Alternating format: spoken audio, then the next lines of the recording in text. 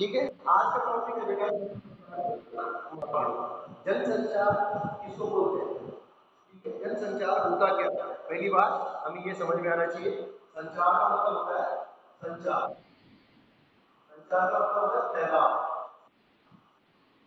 किसी भी चीज़ का फैलाव, कि हमें जो है किसी भी चीज़ को अधिक से अधिक लोगों तक पहुंचाना ठीक फैलाना उसको बोलेंगे उसके बाद है जन जन माने होता है आदमी मनुष्य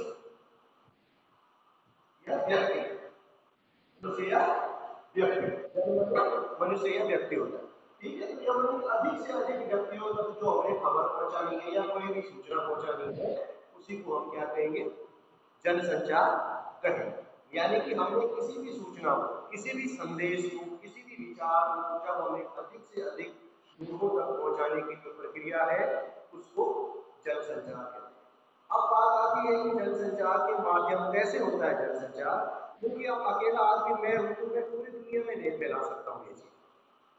क्या नहीं फैला सकता हूँ? पूरी दुनिया में। मैं अकेला नहीं जा सकता कि मैं कोई भी चीज़ हो, कोई भी संदेश हो, पूरी दुनिया में एक साथ दे। उसके लिए मुझे क्या करना पड़ता है? जनसंचार के जो माध्यम है, उनका इस्तेमाल करते हैं। तो जनसंचार कैसे कैसे, किन किन चीज़ों के द्वारा हो सकता है? सबसे पहली बात आती है उसमें, प्रिंट माध्यम।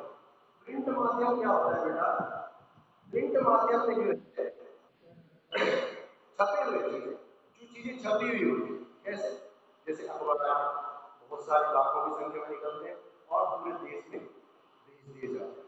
वो होते हैं प्रिंट माध्यम अब आप समाचार पत्र की बात पत्रिकाएँ, किताबें आपकी तो ये प्रिंट माध्यम एक ऐसा माध्यम है कि जिसके द्वारा हम किसी चीज़ को बहुत साफ़ करते हैं। रख सकते ओके देन अब आती है बात श्रव्य संचार। श्रव्य का मतलब होता है बेटा सुनना जिसको हम सुन सकते हैं। तो सुनने वाली चीज़ों में जैसे रेडियो है रेडियो है टेप रिकॉर्डर है, जिनको हम खाली सुन सकते हैं। मतलब ऐसी चीज़ें अखबार रेडियो में रेडियो में भी है आज का ये जैसे बीबीसी है तो बीबीसी के थ्रू में पूरी जानकारी प्राप्त होती है। तो इस तरह से जो है संचार के जो है ये सुनने वाले जिनको कि हम सिर्फ़ सुन सकते हैं। है दृश्य श्रव्य और दृश्य। ऐसा संचार जिसको हम आँखों से भी देख सकते हैं और कानों से भी सुन सकते हैं। जैसे हमारा टेलीविज़न है, उसमें हमें दिखाई भी देता है और सुनाई भी देता है। देन आने के बाद में है टेलीविज़न है, इंटरनेट। अब बात आती है इंटरनेट।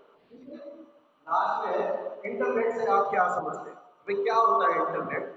तो बेटा इंटरनेट की जो एक सिंपल सी परिभाषा है, साधारण सी एक परिभाषा मैं आपको बताता हूँ कि इंटरनेट यानी कि बहुत सारे कंप्यूटरों का एक जाल होता है, जिनको जो है बहुत सारे विश्व में जो है अनेक अलग अलग स्थानों पर लगे हुए कई सारे कंप्यूटरों को मिला करके जो है एक जाल सा बना दिया जाता है सूचनाओं का ये जो है आज सूचना प्राप्त करने का सबसे अच्छा साधन माना जाता है ठीक है ना? आज कंप्यूटर का इस्तेमाल जो है लगभग अस्सी परसेंट लोग तो करते हैं है। ये इंटरनेट की सुविधा होती है। तो ये जो सबसे मेन साधन बेटा यही होता है इंटरनेट है। आजकल का सबसे प्रसिद्ध जो पॉपुलर साधन है इंटरनेट और रेडियो रेडियो को इसलिए कहेंगे, अब आपको लगता होगा कि रेडियो तो हमारे यहाँ कोई सुनता नहीं है। बेटा रेडियो एक ऐसी चीज़ है कि जहाँ जहाँ जो है अमान अखबार हर जगह नहीं पहुँच सकते। समाचार पत्र हर जगह नहीं पहुँच सकते। क्यों ट्रांसपोर्टेशन है, कई सारी चीज़ें लेकिन रेडियो ऐसी चीज़ है जिसको आप कहीं एक स्थान पे जाके इस्तेमाल कर सकते हैं। ठीक है बेटा?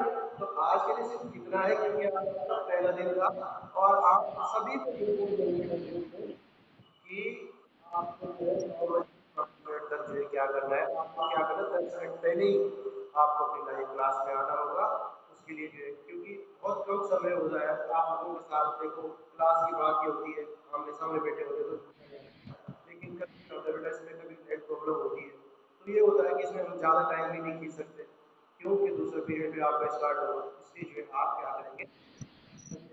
ज्वाइन होना शुरू हो जाएँगे। मतलब आप ये मान लीजिए, अगर आपका नौ बजे है तो आप जो है, आठ परसेंट पे तैयार रहेंगे सबके सब ठीक है? और आज का काम मान, अगर कोई बच्चा ज्वाइन नहीं हो पाया है, कोई बात नहीं है। आप सभी गूगल करेंगे और उसके बाद हम रोज कनेक्ट हो जाएँगे, कोई दिक्कत अगर आपको कोई भी प्रॉब्लम होती है तो आप मेरे को, मेरे नंबर पे आप मैसेज कर सकते ठीक है?